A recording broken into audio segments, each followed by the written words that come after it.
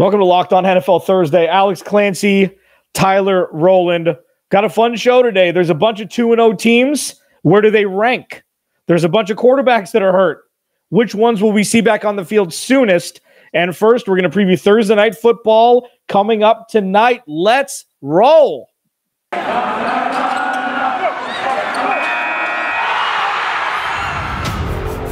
You are Locked On NFL, your daily NFL podcast. Part of the Locked On Podcast Network, your team every day.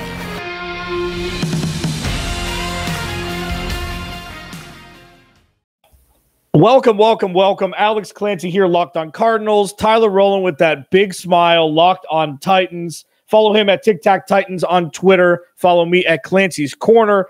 We've got a jam packed show today. Uh, first, Tyler, before we get into it, how excited were you after Sunday quickly that your Titans pulled it out in overtime? Just real quick. Uh, real quickly, very, very excited. Uh, not just that they were able to get a win when it was very unexpected, but th- the manner in which it happened, seeing some things come to life that uh, Titans fans were worried about. So it was a good weekend. Yeah, it's interesting. There were two missed kicks, one from your game and one from our game. Yours an extra point, ours uh, the field goal for the Cardinals that Yeah. gave both teams a W. It's awesome. It's an interesting Thursday night football game tonight. We'll get to that here in just a minute. There's a bunch of 2 0 teams, some surprising, some not so surprising. Where do they rank and who have the better chance of getting to 3 and 0? And then there's a whole litany of quarterbacks that are putting their teams behind the eight ball. And some of them, you know, depend solely on their quarterback talent to get them W's uh, in the NFL through the 17 week season. Let's first talk about tonight. Carolina's probably the biggest surprise 2 0 team, and we'll talk about that next segment. But Sam Darnold's looked great, over 300 yards passing in the first two games. Christian McCaffrey, you know, is a cheat code. And then on the other side, Houston got a surprising win against Jacksonville in week one. Now Tyrod Taylor hurt. They came back to life in week two. Where do you see this? Is this Carolina by double digits? Or what are your first initial thoughts about Thursday night game tonight? Well, I think double digits could be a, a little bit of a stretch, but I'm not ruling it out. Uh, I know right now the line on that Houston is an eight point underdog at home. So anytime you see an NFL team getting over a touchdown uh, when they're at home as an underdog, uh, usually the game is going to end up being closer than maybe some people are expecting. But for me, I'm just really excited to see this Carolina Panthers defense. I know a lot of the buzz right now is about Sam Darnold, and sure, he's looked very solid early on, but this Carolina Panthers defense is the best defense in the NFL through two weeks. They've only allowed 21 points, they've only allowed 380 total yards. They have 10 sacks. Every single one of those numbers is ranked first in the NFL right now. So I'm excited to see a guy like Brian Burns, who's emerging into a superstar, Shaq Thompson at linebacker for the Panthers absolutely going nuts right now, looking like not only the best defensive player, but the best player in the NFL through two weeks. So, me as a guy who uh, spent most of my time early in my football life thinking about defense, I can't lie, I'm very excited to see this Panthers defense and what they can do against.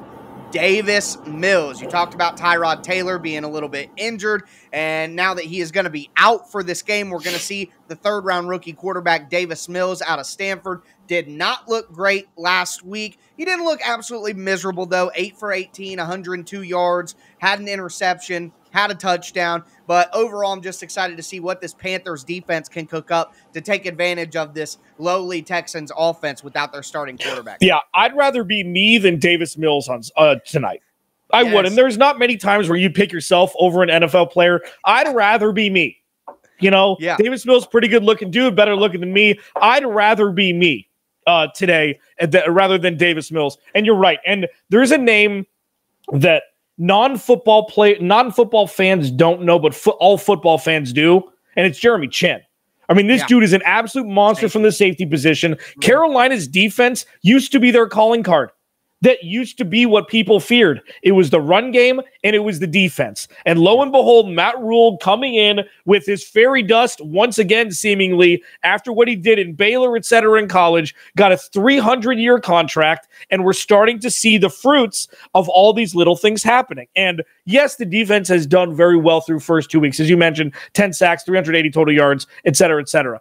The reason why I focus on the offense is because Sam Darnold's been one of the more, more polarizing characters since the mm-hmm. 2018 draft. Is it the Jets? Should he have gone number one overall? Would he have better a better fit in Cleveland than Baker Mayfield, et cetera, et cetera? The dude looks like an NFL player for the first time in his career.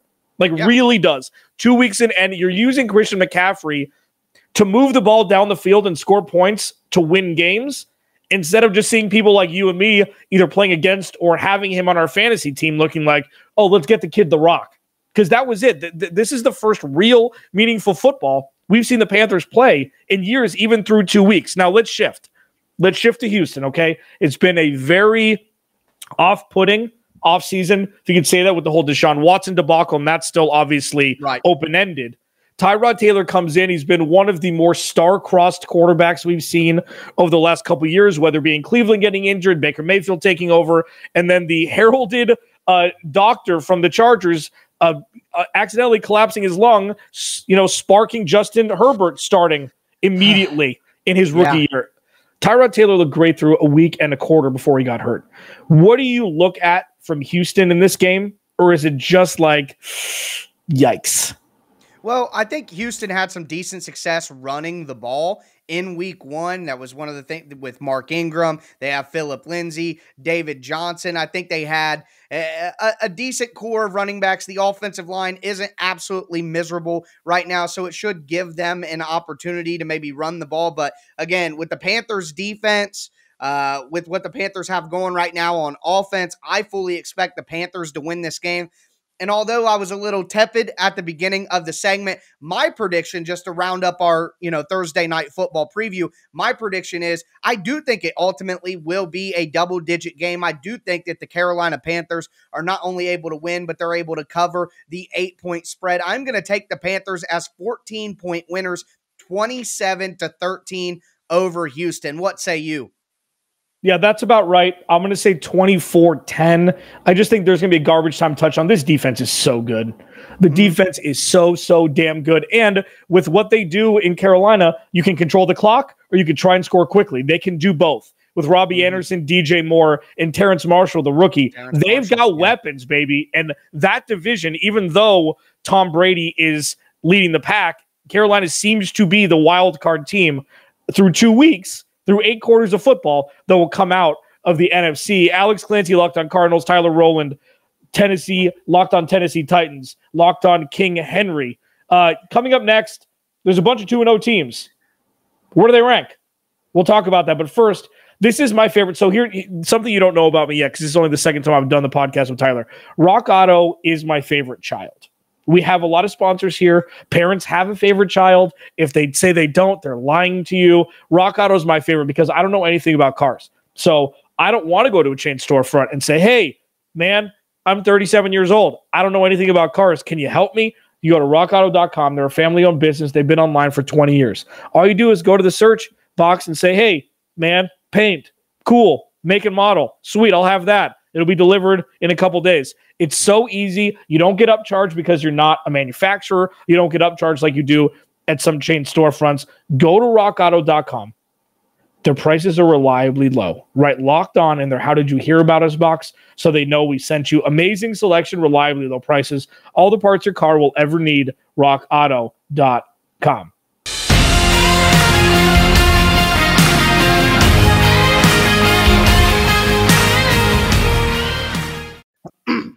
Well, we are back here, ladies and gentlemen, trying to let me clear my throat. Get ready second segment.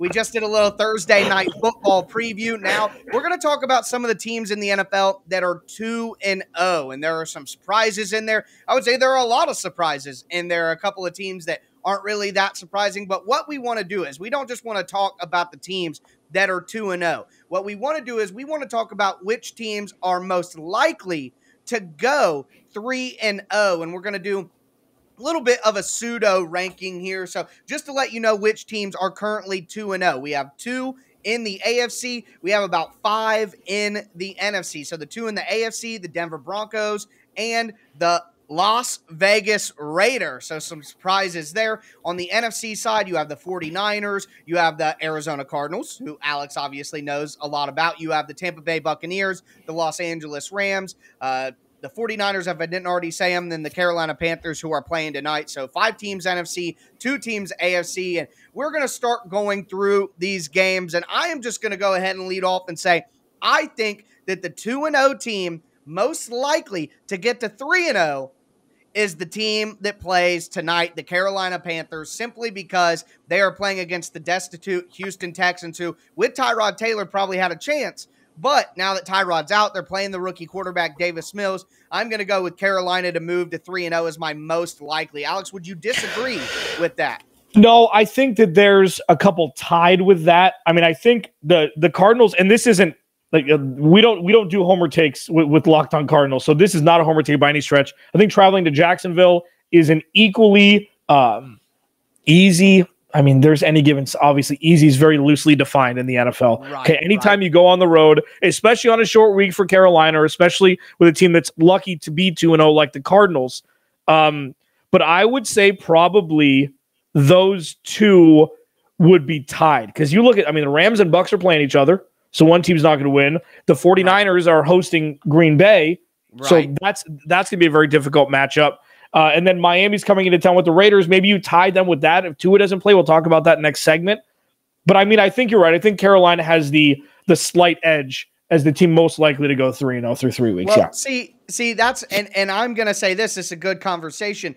I do have the Cardinals on here, but I actually had the Cardinals as the fourth most likely team to go 2 and 0 because although they are going to Jacksonville, I just smell a bounce back game for the Jags and at least they do have their starting quarterback for me. The number 2 most likely 2 and 0 team to go to 3 and 0 is the Denver Broncos. Now they are going on the road to the New York Jets. I don't think the Jets are quite as bad as they looked last week. Bill Belichick against a rookie quarterback, we know how that goes. But I trust Denver's defense. I trust their weapons on offense, and I trust Teddy Bridgewater. I think that the Jets will ultimately end up being a worse team than the Jags. I know that doesn't seem possible right now, but that's just kind of how I see it. I think the Jags are a little bit better than the Jets. So for me, Denver is my number two team. But then it was a toss up between the Raiders against the Dolphins and then the Cardinals against the Jags. But again, the Dolphins are playing against a backup quarterback in Jacoby Brissett, who who knows how much worse he is than Tua. Sorry, I'm not uh, I'm not a Tua stan at all you can count me as a Tua hater. But yeah, I, I, think that the, the Cardinals against the Jags, the Raiders against the Dolphins, those two are right there as a toss up, three or four either way. But I'm going to place the Denver Broncos over the Jets as more likely to go to 3 and 0. How do you feel about that Denver matchup? Yeah, you know, it's interesting. So, what Teddy Bridgewater has gone from when he was in New Orleans is stability from the coaching staff and the offense. Mm-hmm. You know exactly what you're going to get with the offense. Okay you know exactly what you're going to get. You're going to get Alvin Kamara. You're going to get Michael Thomas. And it was like the movie Rock. It was like the movie Rockstar. It's a movie I like to reference a lot. Where it doesn't yeah. matter who the the lead singer is, it's going to look the same. You could say that about the 49ers run game. That's one thing that I equated to a lot. But what he where he comes into Denver, which is going to fit him better, is stability on defense. You get stability on defense, you got stability on the run game. Whatever it is, yep. Denver's run game is always going to be middle of the pack or better. And what they've done this offseason, they just have all the cornerbacks. I think they have all of them in the NFL. All of them. Justin Simmons got paid over the top. You know, Kyle Fuller, and then they and then uh, Patrick Surtain Jr. in the draft. Like they're set. So all Teddy Bridgewater has to do is beat Teddy Bridgewater. That's it. That's it. And they're going to win a bunch of games this year, even in that very very deep AFC West. Uh, but yeah, I mean the Jets are terrible. And yeah, what that, Bill Belichick what does against rookie quarterbacks is like, right. how is that consistent as gravity? How is one rookie quarterback not being like, hey, Billy boy, watch this, and not throwing four picks in his first seven attempts or whatever the hell he did? I don't yeah, know. I, I I mean, it's just one of those things. The mastermind of defensive football, Bill Belichick, just refuses to let any young cat uh, give him any kind of damage whatsoever. But moving past those games that we talked about there, which I think are the top four, the the two games that have three two and zero oh teams on them that I put at the bottom of my list. You mentioned it earlier. The Tampa Bay Buccaneers go on the road to Los Angeles to play the Rams, and that's why I have the Rams ahead of Tampa Bay in terms of who will go to 3 and 0. I have the Rams winning that game. Obviously, it's going to be a toss up and a tough matchup, but The fact is, there are two 2 and 0 teams playing each other. One of those teams is not going to be able to go to 3 and 0 and that's why I have them so far down my list. Just quickly before we move on to my last ranked game here and probably yours as well, which team are you siding with just right now as things stand? The Tampa Bay Buccaneers or the Los Angeles Rams, which could be the game of the week. Yeah, it's interesting because it's, uh, you know, normal thought would say Tampa Bay without breaking a sweat. It's just, you know, Tampa Bay, they've been blowing people out. I'm taking the Rams, and this isn't NFC West bias, isn't anything. It, uh, it really isn't even that they're the home team. It's we know for sure that this defense is good. Yeah. We know for sure. And yes, what we saw last year with Tampa Bay was excellent. Devin White coming into his own, you know, Lavonte David, everything. Those cornerbacks got lit up by Dak Prescott. Yeah. And I know that Atlanta, a lot of it was a garbage game, but it was 28 25 uh, midway through the third or early in the fourth before Matt Ryan threw three three pick sixes, two pick sixes in a row, something like that. Which, you know, uh, I mean, Matt Ryan will do that. I'm taking the Rams because their their floor is higher. Their yeah. ceiling isn't higher, but their floor is. And it's weird to, you know, go against Tom Brady, but he's got to go cross country. He's 150 years old. I'd rather right. take the Rams. Yeah, I'm with you, you on that. Yeah, I, I, I agree with you there. I, I think the I'm leaning Rams in this game, so that's why I had the Bucks at number six. But the number seven ranked two and zero oh team in terms of difficulty and getting to three and zero, oh, I have the San Francisco 49ers. Yeah. I know they won uh, what was a blowout that turned into a close game in week one against Detroit. We know that they won last week as well. But for me, I think that the Green Bay Packers are a better team than the San Francisco 49ers. So I would say, even though, you know, San Francisco is 2 and 0, I trust the Packers to play well, and I think the Packers win that game. And the 49ers, I have them as my last ranked team when it comes to potential to go 3 and 0. Do you agree with that? What yeah. are your final yeah. thoughts there? I mean, if Aaron Rodgers is ever going to show up and say, hey, I can still play football against the 49ers who've embarrassed him a couple years in a row when yeah. they played, you know, in the NFC championship game. The 49ers don't have a running back. I think they just brought in Chris Thompson. I mean, they they brought in a bunch of guys. All of their running backs are hurt. You never want anybody to get hurt, but it seems like every year Raheem Mostert's out for the year, and then yeah. they have you know guys there. So yeah, I'm taking Green Bay to win. If Green Bay can't win this game, what the hell are we doing here? Yeah, it's it's just a repeat of everything that's been happening to them for the last few years. I'm totally on the same page with you on that, but we are going to talk about some quarterback injuries and some quarterback news to round out today's show. Before we get into that, do want to tell you guys about our friends over at betonline.ag. It is the best place to bet on all the pro and college football action this fall. They have a brand new updated site with a new interface. that shows you all the updated odds, props, and contests. Make sure that you head over to betonline.ag today. Sign up for free. And when you do, use the promo code locked on. That's one word locked on. You'll get a 100% welcome bonus on your first deposit. They're literally giving you free money when you use the promo code locked on at betonline.ag. BetOnline, the fastest and easiest way to bet on all your favorite sports. BetOnline, your online sportsbook expert. Also, have to tell you guys about the Get Upside. My listeners right now are making 25 cents back on every gallon of gas every time they fill up. You can do the same. Just download the free Get Upside app in the App Store or Google Play right now. Use the promo code Touchdown. That's promo code Touchdown, and you'll get a bonus 25 cents per gallon on your first fill up. That's up to 50 cents cash back. Don't pay full price at the pump anymore. Get cash back using Get Upside. Just download the app for free, use the promo code touchdown, and get up to 50 cents per gallon cash back on your first tank. Some people who drive a lot are making up to as much as $200, $300 a month in cash back, and there's no catch. The cash back gets added right to your account. You can then cash out at any time directly to your bank account PayPal, or an e gift card for something like Amazon or other brands, just download the free Get Upside app. Use that promo code touchdown and get up to 50 cents per gallon cash back on your first tank. Remember, the Get Upside app, use promo code touchdown.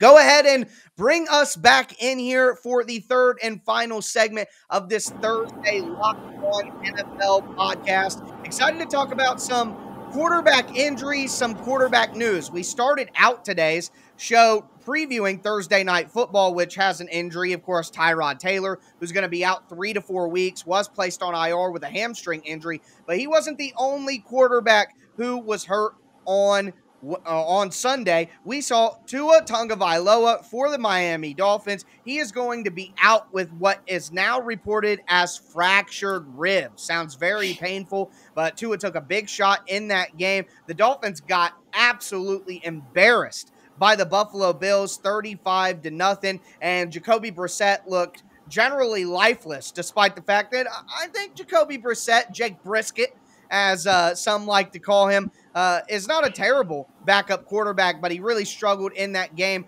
Alex, the question really becomes do you think the Dolphins are dead in the water, pun intended, or do I you mean, think uh, Jacoby Brissett can lead them to victory? Yeah, I mean, this is not going to be fun for them. Uh, right. Jacoby Brissett, there's one thing that I say, and it's I I talk about it a lot during uh, with basketball players where it's like, okay, you're a starter your whole life, and then you're asked to come off the bench. Some performances dip because people are used to doing layup lines, being all sweaty, being ready to roll, and then going and playing instead of sitting on the right. sideline for a while. So when you right. look at Jacoby Brissett jumping in there mid game, some backup quarterbacks can just do it.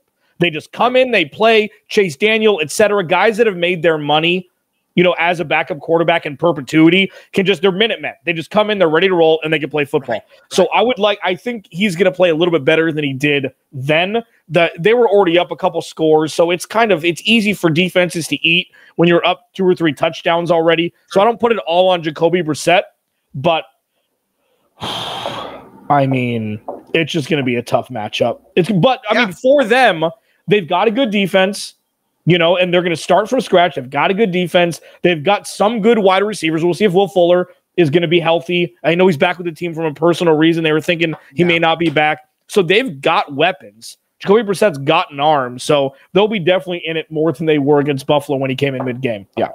Yeah, and, and, they're playing the Raiders. And although the Raiders have played really well at the beginning of the year, I don't think that the Raiders are some unbeatable force either. So that'll be very interesting to watch. The next quarterback who is suffering from some injuries is Carson Wentz, the starting quarterback for the Indianapolis Colts. He has two Count them two sprained ankles, which last time I checked is the maximum amount you can have. He has uh, a, one of his ankles is a high ankle sprain, the other one is a low ankle sprain. Now, he wasn't wearing a boot like he was earlier in the week on Wednesday, but he did not practice. And I think it's kind of a smokescreen. I don't really see Carson Wentz playing in the game on Sunday against the Titans. I think that the Colts are just trying to keep the Titans on their toes, but you don't sprain both of your ankles in that way, wearing a boot earlier in the year, not practice on Wednesday, and then all of a sudden play in the game. So I, I, think that, that this is a little more concerning than Miami's situation because the Colts haven't been great early on in the year. They're 0 2, and having that spark and that athleticism,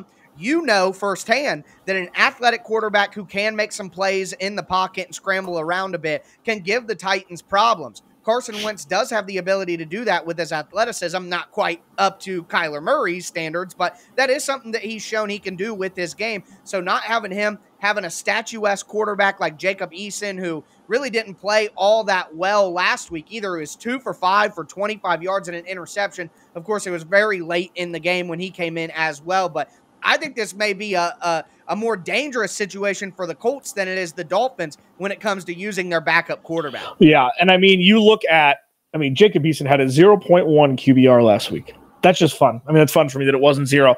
You know, um, yeah, you knew what you were getting with the Colts. Unfortunately for him, you have two sprained ankle. Like you'd rather have one bad one than two right. medium ones. And obviously, we're making joke. You never want anybody to get injured, but um, yeah, it's gonna be problematic. Again, defense is good, run game is good, offensive line is fine. You know, like they have and and no, I mean this isn't a, a dig or anything, but the pass rush for the the Titans isn't the greatest at this point. So you can look at maybe have him give it a shot, have him be active see how he is in pregame warmups and just see. But yeah, I mean, and you got to feel bad for the Eagles too because this is gonna this is gonna um, get them out of yep. a first snaps. round pick, first round compensatory pick if he doesn't play seventy five percent of the snaps. Um, so it, it- yeah, I mean, there's a lot going into this. I don't know. I I'd almost rather see Jacob Eason in full strength than Carson Wentz at 40% when he hasn't been great when he was healthy to this point. Yeah, yeah, that makes a lot of sense. And I'm sure that there are some Colts fans out there who are excited to see what Jacob Eason can do. But I would imagine there are some Titans fans out there who are excited to see what Jacob Eason can do as well. The last bit of quarterback news that we have here for our Locked On NFL Thursday show is news that everyone has wanted to hear. Everyone has been anticipating for quite some time. It didn't come for the reasons that we thought, but hey, by hook or by crook, Justin Fields is now the starting quarterback in Chicago based on an injury to Andy Dalton. He has a bone bruise. Doesn't look like he is going to be out for the entire season. But I guess the real question here is, Alex, do you ever think that Andy Dalton is getting that job back? If he doesn't, he's making 10 mil. Yeah, You there know, are worse ways to lose You your know, job. he's getting paid like a starting quarterback on a rookie scale Yeah. contract. Um, no, I don't. Uh, Justin Fields has looked terrible. You know, like he's he's shown flashes, but again, this is a perfect example to I was what I was talking about before. That dude's never been on the bench in his life, ever. Right.